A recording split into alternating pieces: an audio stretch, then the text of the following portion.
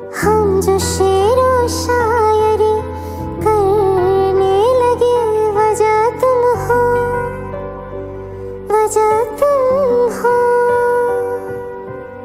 बिखरे बिखरे से थे हम पहले, अब सवरने लगे।